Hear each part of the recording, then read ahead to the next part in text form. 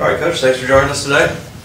Middle way through um, spring ball right now. Give us a little preview of how things are going for you, and we'll talk uh, go for questions. Uh, it's been it's been going pretty well. Just trying to uh, maximize the, the technique development as well as uh,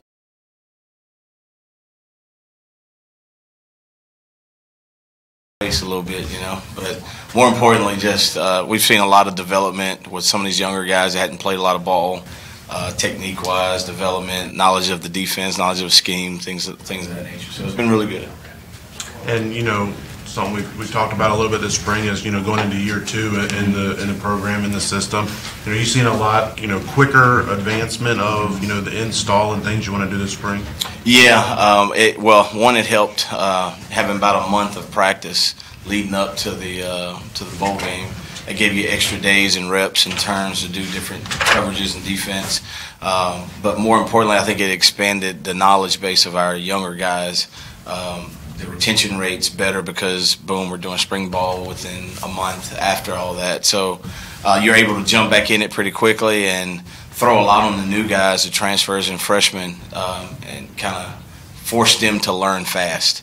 And you know they obviously make some mistakes, but you just you know, keep shoveling at them and see see what they can retain.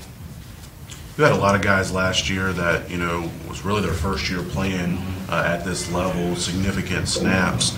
Um, you know, are, are you expecting and hoping for a huge jump for some of these guys, especially look at like a TJ Bush, Mayan Conway on the on the front end, uh, for them to take a significant step into year two? Absolutely. I, I think that is um, this offseason is probably the most critical offseason for those guys like uh, Bryce Dixon, who you know, this was his first year of significant time. T.J. Bush, uh, even Jay Hardy hadn't really played a whole lot of football leading um, up to this year. Uh, C.J. Bazile, um, obviously you got Joe Carter.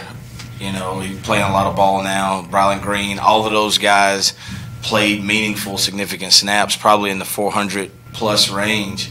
Um, that's you know they probably never played over 200 plays leading up to that. So this offseason has been good, really good for them guys developing, and uh, more importantly, the mental aspect of it is has been it's been nice. Some of those new guys, what have you seen out of them? Where,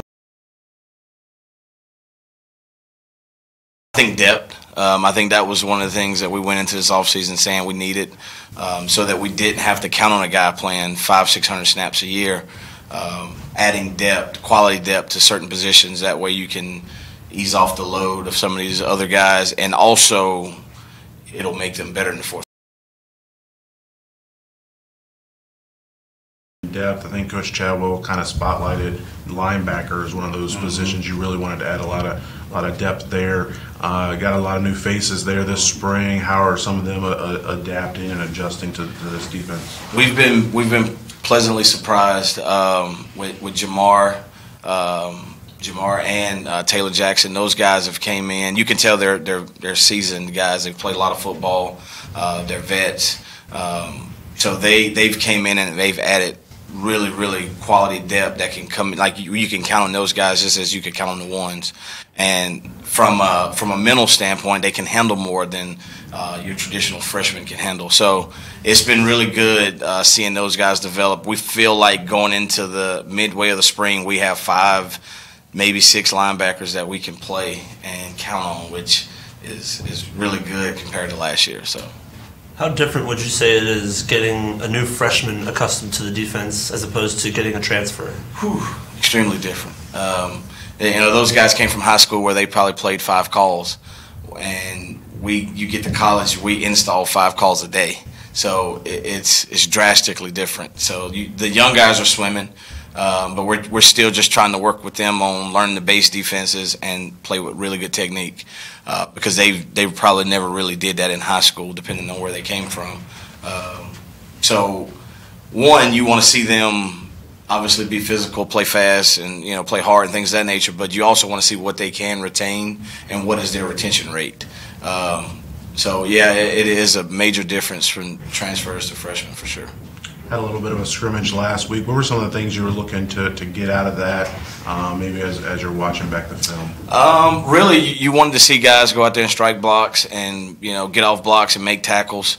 Um, we we kept the call simple just to see if they can retain some of the, the, the lower level defense stuff and just play fast and play hard. And that was really what we're trying to do is technique, fundamentals, and playing hard. If we can get those young guys doing that, we'll be fine. Who's kind of who you seen kind of step up as a leader on the defense, like as one of the, the voices that you hear out there, or have you? Are you still looking? Which we're still looking. Uh, the guys like Bryce Dixon, T.J. Bush, we're, we're, we're looking for those guys to step up. Obviously, with Q not being as active in practice, we know he's a leader. We know he can do it. Um, but we're trying to get some other guys involved, especially in the box. Losing Tyron obviously was a, a major piece that we lost in the leadership category. So we got to we got to cultivate it a little bit and, and kind of get it out of them.